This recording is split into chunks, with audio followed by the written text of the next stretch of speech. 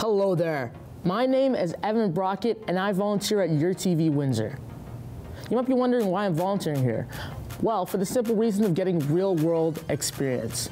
I volunteer here on set, at Windsor Spitfires games, at Meet the Music.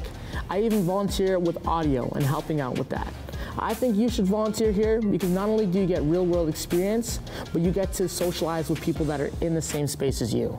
That's one reason why you should volunteer here.